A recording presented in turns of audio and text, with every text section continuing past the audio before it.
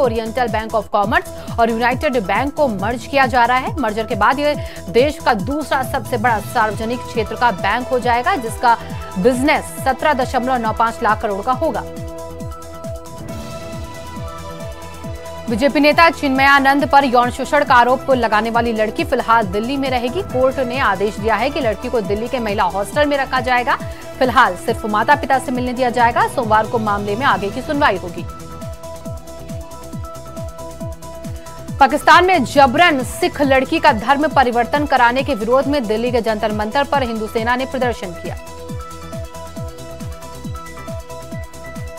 मोकामा के बाहुबली विधायक अनंत सिंह की पत्नी नीलम देवी, महिला आयोग से शिकायत की उन्होंने। नीलम देवी ने आयोग से शिकायत करते हुए कहा कि पुलिस बेवजह उनके पति और उनको परेशान कर रही है। सरकार में बैठे कुछ लोगों के इशारे पर उनके पति के पैतृक आवास पर ए के फोर्टी सेवन रखकर उनके पति को फंसाने की साजिश रची गई। गणेशोत्सव में प्लास्टर ऑफ़ पेरिस के गणेश की मूर्ति स्थापना के बाद पानी में उसके विसर्जन से प्रदूषण फैलता है। इस प्रदूषण को कम करने के लिए मिट्टी के गणेश की मूर्ति बनाकर उसे स्थापना करने की मुहिम पिछले कई समय से चल रही है। बड़ोदरा में माटी काम कलाकारी बोर्ड की और मिट्टी के गणेश मूर्ति का मेला लगाया गया है। आज महाराष्ट्र में किसानों ने बड़े उल्लास के साथ अपने मित्र बैलों के लिए पोले का त्योहार मनाया। बूढ़ाढाड़ा में भी किसान अपने बैलों के साथ जमा हुए, जिन्हें देखने के लिए बड़ी संख्या में लोग जुटे। इनमें से छोटे बच्चे भी शामिल। रुड़की में एक गर्भवती महिला ने ट्रेन में बच्चे को जन्म दिया। जीआरपी ने ट्रेन के अंदर ही गर्भवती महिला की डिलीवरी करवाई है। जीआरपी ने तुरंत आपात सेवा से प्रसूता व शिशु को महिला अस्पताल में भर्ती किया, जहाँ उन्हें हायर सेंटर रेफर किया गया। कुल्लू के भंदूर सैनिक चौक के पास झुग्गी झोपड़ी में भयंकर आग लग गई है। आग से दर्जनों झुग्गी झोपड़ियाँ जलकर खाक हो गई। कड़ी मशक्कत के बाद आग पर काबू पाया गया।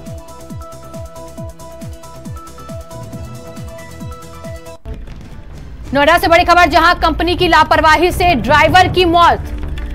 आपको बता दें, यूफ्लेक्स कंपनी की लापरवाही और कंपनी की लापरवाही से ही ड्राइवर की मौत हुई। ऑटोमेटिक गेट में गला दबने से मौत हुई। कंपनी का माल लोड कराने आया था ये ड्राइवर। और गेट बंद होने से चपेट में आया ये चालक। कंपनी की लापरवाही इसमें। नोएडा से बड़ी खबर, जहाँ कंपनी की लापरवाही से ड्राइवर की मौत हुई है, यूफ्लेक्स कंपनी की लापरवाही सामने आई है और ऑटोमेटिक गेट में गला दबने से मौत हुई इस चालक की। कंपनी का जो माल, उसको लोड कराने के लिए ड्राइवर गया हुआ था और गेट बंद होने से ये ड्राइवर उसकी चपेट में आया, उसकी मौत हुई। नोएडा से इस वक्त की बड़ी खबर। तो यूफ्लेक्स कंपनी की लापरवाही। हमारे साथ दानिश हमारे संवाददाता जुड़ चुके हैं। दानिश देखिए ऑटोमेटिक गेट से गला दबने से एक ड्राइवर की मौत आरोप की कंपनी की लापरवाही है इसमें। वाला है संदीप और यही जो है डीसीएम चलाता है माल उतारता है माल ले जाता है। और इसलिए आज सुबह माल यहाँ पर लेने आया था लेकिन जो गेट है उसका समय रहता है लेकिन आज गेट समय से पहले बंद हो गया लिहाजा संदीप बीच में फंस गया और उसकी गला उसमें फंस गया जिससे उसकी मौत हो गई। एक बड़ी लापरवाही यूफ्लेक्स कंपनी की है जो अपने कर्मचारी के साथ ही जो है उसके साथ दुर्घटना हो जाती है। हालाँकि पुलिस मौके पर पहुँची है चूँकि संदीप का यहाँ नहीं रहता है लिहाजा इसलिए अभी कोई शिकायत नहीं दी गई है। लेकिन बड़ी लापरवाही यूफ्लेक्स कंपनी की यहाँ पर देखने को मिली एक ड्राइवर की बहुत बहुत शुक्रिया दानिश इन तमाम जानकारियों के लिए। तो भारत समाचार की खबर का बड़ा असर। आपको बता दें कि नशीली दवाओं के कारोबार का पूरा मामला था। तीन फॉर्मों पर प्रशासन ने बड़ी कार्रवाई की है। आपको बता दें, भारत समाचार की खबर का यह बड़ा असर है, जहाँ पर मेडिकल स्टोरों के लाइसेंस रद्द किए गए। हमारे साथ सुमित, हमारे सहयोगी जुड़ चुके हैं। सुमित, देखिए, भारत समाचार की खबर का बड़ा असर हुआ है। तीन फार्मों पर प्रशासन ने बड़ी कार्रवाई की। क्या पूरा मामला, किस तरह से कार्रवाई हुई? देखिए शिवांगी 9 जुलाई को थाना एडमातोला मालवा ट्रांसपोर्ट है वहाँ नकली दवाइयों सूचना पर ड्रग विभाग ने छापामार कार्रवाई की थी। लेकिन ड्रग विभाग ने पूरे मामले में कार्रवाई करते हुए लीपापोती करते हुए तिरसठ लाख रुपए की जो फैंसिडिल सीरप थे जो नशे के कारोबार में इस्तेमाल किए जाते हैं, वो छोड़ दिए थे, जबकि वहाँ जो इक्कीस लाख की करीब दवाइयाँ मिली थी। उनका कोई दावा पेश करने कोई नहीं आया था। वो उसके जब सैंपल लिए गए तो वो भी सैंपलों में फेल हुए, वो भी इक्कीस लाख की जो दवाइयाँ थी, वो नकली साबित हुई। इस सब पूरे मामले में जब भारत समाचार ने खबर चलाया और जिलाधिकारी संज्ञा ने पूरा मामला दिखाया तो जिलाधिकारी काफ़ी नाराज़ हुए और ड्रग इंस्पेक्टरों को अपने ऑफ़िस में बुलाकर जमकर लताड़ा उनकी। इलाज लगाए उनको नोटिस भी दिए। उसके बाद अब ये कार्रवाई की गई है। तीन दुकानों के लाइसेंस निरस्त किए गए हैं जिसमें हर्ष मेडिकल है एच के मेडिकल है उनके सभी तरह की दवाइयों की बिक्री के लाइसेंस निरस्त कर दिए गए हैं और एक ही एंटरप्राइजेज जो है उसका नार्कोटिक्स मेडिकल निरस्त किया गया है। साथ ही जो औषधि आयुक्त है उन्होंने इन तीनों मेडिकल स्टोरों के खिलाफ एफआईआर कराने के आदेश दिए गए। बहुत बहुत शुक्रिया सुमित। देखिए लखनऊ से एक और बड़ी खबर आपको बता दें ओएमआर सीट में गड़बड़ी मिलने पर रिपोर्ट दर्ज हुई है। चयन परीक्षा में ओएमआर सीट में गड़बड़ी मिली थी। अधीनस्थ सेवा आयोग की चयन परीक्षा और उसमें गड़बड़ी का मामला। अनुभाग अधिकारी की तरफ़ से दी गई तहरीर और 100 परीक्षार्थियों को आरोपी बनाया गया है। लखनऊ के विभूति खंड में ये रिपोर्ट दर्ज हुई है, जहाँ पर ओएमआर सीट में गड़बड़ी मिलने पर एफआईआर एक और बड़ी खबर, वाराणसी से जहाँ ठेकेदार आत्महत्या मामले में एसआईटी गठित हो गई है, नगर पुलिस अधीक्षक ने गठित की है ये एसआईटी और एसएसपी ऑफ़िस में ठेकेदार ने आत्महत्या की थी, अब इस पूरे मामले में एसआईटी गठित की गई है। कल ही इस पूरे मामले में तीन इंजीनियर को सस्पेंड किया गया था। वाराणसी से खबर, जहाँ ठेकेदार आत्महत्या मामले में एसआईटी गठित करके कड़ी कार्रवाई की जा रही है।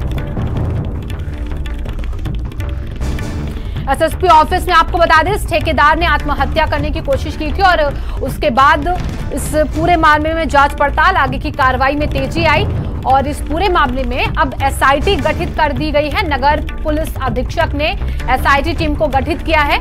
एसएसपी ऑफ़िस में ये पूरा घटनाक्रम हुआ था जहाँ ठेकेदार ने आत्महत्या की थी और कल ही इस मामले में तीन इंजीनियर्स को सस्पेंड भी किया गया था।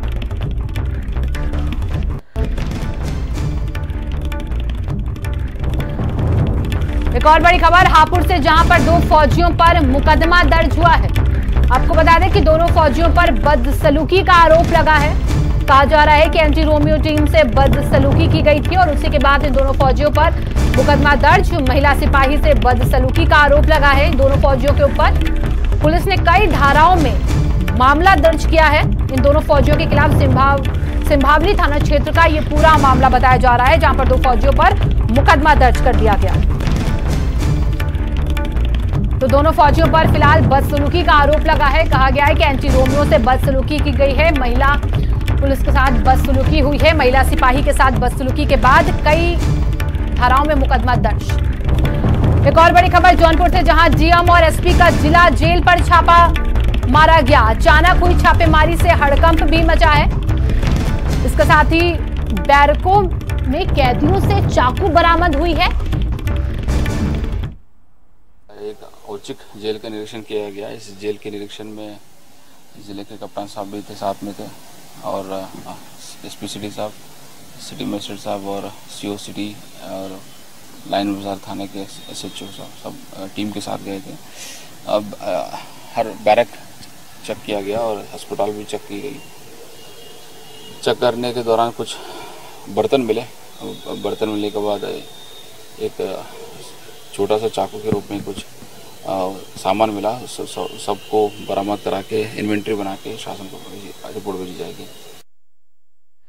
तो हापुड़ से बड़ी खबर आपको बता दें, जहाँ पर दंपति की गोली मारकर हत्या से सनसनी मची है। डबल मर्डर से इलाके में दहशत का माहौल भी है। दंपति को गोली मारी गई। पूरे इलाके में सनसनी का माहौल। बेखौफ बदमाशों ने दंपति की हत्या की है। हमारे साथ तेजेंद्र, हमारे सहयोगी जुड़ चुके हैं सीधे। तेजेंद्र दंपति की गोली मारकर हत्या की गई थी। अभी तक क्या कुछ पता चल पाया? हालाँकि आपने बताया था कि अभी तक कोई कारण साफ़ नहीं हो पाया है शायद। शिवांगी मैं आपको बताना चाहूँगा इस दंपति का एक फार्म हाउस है। ये हाईडील में रिटायर्ड थे थे ये अपने घर पे शिफ्ट हो रहे थे। अज्ञात बदमाश आते हैं और इन्हें गोलियों से भून के बड़े आराम से चले जाते हैं। यहाँ हापुड़ की पुलिस पुलिस या निशान लग रहा है। चेकिंग के नाम पे हाईवे पे इनका फार्म हाउस है। बड़े आराम से इनके साथ लूटपाट की गई है। उसके बाद इनकी निर्मल हत्या की गई है। जब इनकी हत्या होगी इलाके में इतनी सनसनी है लोग यहाँ पे इनके घर के बाहर इकट्ठा हो गए हैं। पुलिस ने वह बैरिकेड कर दिया और उनके घर के अंदर किसी को नहीं जाने दे रहे जब तक पुलिस के आला अधिकारी मौके पे नहीं पहुँचेंगे जब तक किसी की एंट्री नहीं होगी। पुलिस अपनी बहुत बहुत शुक्रिया तेजेंद्र तमाम जानकारियों के लिए। प्रधानमंत्री नरेंद्र मोदी की आलोचना कर रहे और भारत पाकिस्तान के बीच युद्ध के समय की घोषणा करने वाले पाकिस्तान के बड़बोले रेल मंत्री शेख रशीद बिजली के जोरदार झटके का शिकार हुए। आपको बता दें कि करंट लगने से पहले रशीद पीएम मोदी की ही आलोचना कर रहे थे। बिजली का झटका लगते ही शेख रशीद डर गए अपना भाषण भी रोका और बाद में उन्होंने स्थिति को संभालते हुए कहा कि नरेंद्र मोदी उनके जलसे को नाकाम नहीं कर सकते। हम तुम्हारी मोदी नियतों से वाकिफ हैं। तुम्हारा रस का करंट लग गया खैर। कोई बात नहीं। कोई नहीं। मेरा ख्याल है करंट आ गया है। ये मोदी इस जलसे को नाकाम नहीं कर सकता। हम तुम्हारी मोदी नियतों से वाकिफ हैं।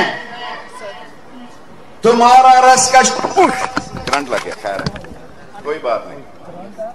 कोई नहीं। मेरा ख्याल है करंट आ गया है। ये मोदी इस जलसे को नाकाम नहीं कर सकता। हम तुम्हारी मोदी नियतों से वाकिफ हैं। तुम्हारा रस का करंट लग गया खैर।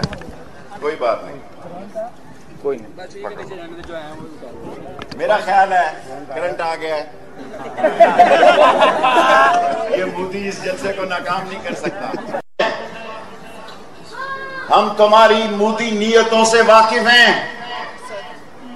तुम्हारा रस का करंट लग गया खैर। कोई बात नहीं। कोई नहीं। मेरा ख्याल है करंट आ गया है। ये मोदी इस जलसे को नाकाम नहीं कर सकता। हम तुम्हारी मोदी नियतों से वाकिफ हैं। तुम्हारा रस का करंट लग गया, खैर। कोई बात नहीं। कोई नहीं। मेरा ख्याल है, करंट आ गया ये मोदी इस जलसे को नाकाम नहीं कर सकता। हम तुम्हारी मोदी नियतों से वाकिफ हैं। तुम्हारा रस का